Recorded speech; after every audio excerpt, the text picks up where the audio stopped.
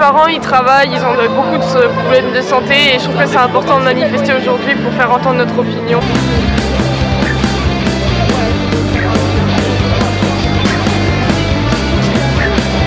Jeudi dernier, la mobilisation encore réuni plus de 3 millions de manifestants partout en France. À 7, nous étions plus de 6 000.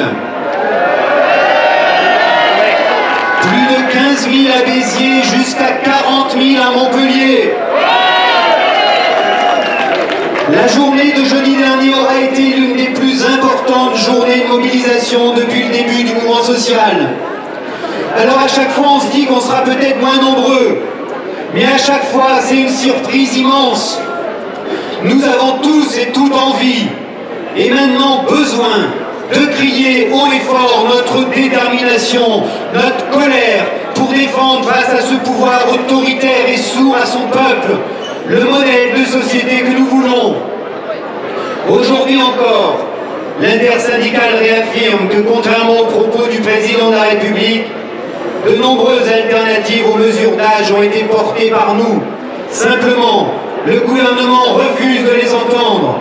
Il n'a qu'une obsession, faire travailler plus longtemps les Français et les Françaises, y compris dans des conditions de travail épouvantables. Macron, honte à lui quand il ose dire que les syndicats ne voulaient pas chercher de compromis. Honte à lui quand il refuse d'ouvrir la porte de son bureau. Honte à lui quand il s'enferme dans un discours qui s'adresse toujours plus à l'ultra-minorité sociale et privilégiée de ce pays. Il a choisi son camp, celui de la finance.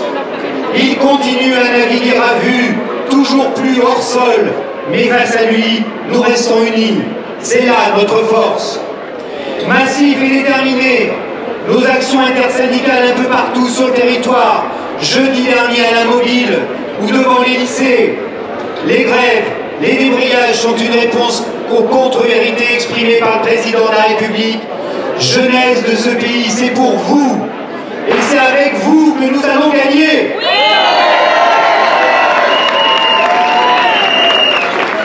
Les organisations syndicales et de jeunesse demandent publiquement une consultation citoyenne. Alors aujourd'hui, soyons des milliers, des millions dans le pays à demander le retrait de cette réforme injuste et à nous battre pour notre démocratie. Le peuple, c'est nous,